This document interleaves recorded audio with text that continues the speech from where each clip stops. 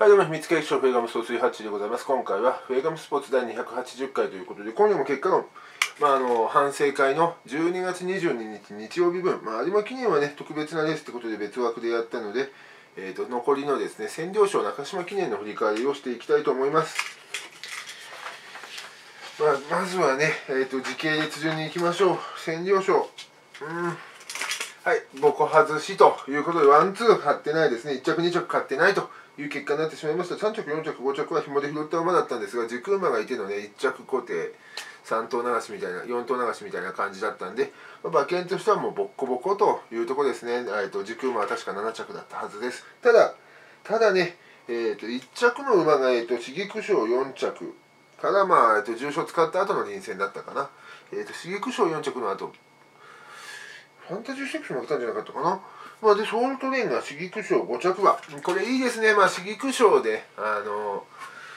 これ気になっていたのが、刺激賞の、ね、2着馬といえば、えっ、ー、と、なんて言ったっけ、ブルーミングスカイか。ブルーミングスカイっていうね、あの、僕の POG 指名馬でね、あの占領賞、この辺のメンバーに、えーと、刺激賞の4着、5着馬が簡単に勝てたってことは、まあ、刺激賞の2着馬はもっと強いだろうってことになるわけですね。まあ、そうなってくると、まあ、僕のあの POG 的に言えば、まあ、ここの、ね、あの1回ちんちんに勝った相手が、まあ、この500万下ワンツーできるぐらい強かったってことですから、まあ、ってことはまあシクラメン賞のワンツーあたりは G1 級 ?G1 級っていうかまあ朝日杯フューチュリティステークスは無理でもホープフルだったら勝負になるみたいな感じで、まあ、ちょっとねテンション上がるわけですね、まあ、なのでこれがテンション上がったんでよかったなって言えるレース。まあ、最近ねそういう逃げ工場が多いですけど、ね、逃げ工場とかうまくいってくれてるんでね。まあそんな感じでポジティブに捉えていきたいなというレースに僕の中ではなったわけですね。まあそしてですねえーと、こちら中島記念なんですが、えーと、1番人気グレートパールが2着に負けて単勝1.3倍、まあ、そしてウノピラットブリオ2番人気が勝ちきってしまったというところだったんですが、まあ、これね、馬券取ることには成功しました。3年単2740円だったかな。えっ、ー、と、1着、2着を、まあ、フォーメーションで1着、2着に置いて、3着、4着を、まあ、3着のところに置いたフォーメーション4点で取ることができたということでね、あの僕のツイッターの方でも、まあ、あの取ったぞっていう紹介、報告はしたんですけれども、まああの一旦ねあのやっぱ冷静になって考えることになったのが有馬記念が終わってえっとまあ、現地参戦してたんでね車に戻って冷静にあの中島記念を買おうということでねグレートパールたあの開いてみたら単勝1.1倍だったんですね。おいちょっと待てよと。まあ1.4ぐらいが適正で1.1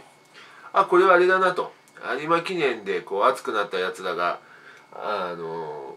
JRA のね重賞勝ち馬ですからねグレートパール。抜けた人気に違いないということで単勝ぶち込んでるなっていうことで、まあ、冷静になることができました。まあ雨に濡れたせいもあるんですけども。まあそしてねえっ、ー、と馬体重もグレートパールプラス38と非常にあれでしたから非常にねあの馬体重の方も問題あったのですがまああとはね、ウノピアットブリオもこのハッピーこのスーパージンガとかね、この辺との対戦成績見ると、グレートパールと同じぐらい、ウノピアットブリオも、あの、ぶっちぎって勝ってきてたんで、この2頭直接対決がないだけに、逆転あるぞと。まあオッズ差考えたら美味しいなってことにしましてこれあの裏目も買ったんですね。まあ、でこのその分スーパージンガがこの2頭と比べてちょっと臨戦過程的に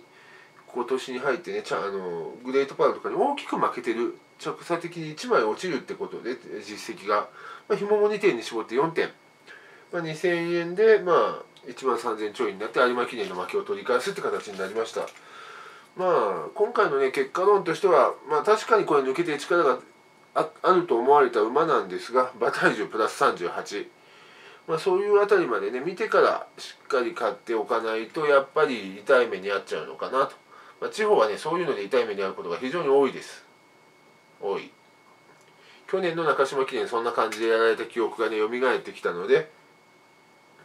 まあ今年はねあの事前の予想だけじゃなくて直前の状況も見て買うことができてまあ中有馬記念はねあの外した分は取り返すことができて一応まあ日曜日だけだとマイナスなんですけどね。土日トータルでは資金を残して、まあ、さあのホープフルステークス東京大商店に向けてね、まあ、今週今年もプラスで乗り切れるんじゃないかなとなってきました。というわけでねまたこんな感じで、えー、と直前まであの僕のねあのツイッターとかその辺でも解明とかそういう話をしていくんでよろしくお願いいたします。以上ハッチーでした。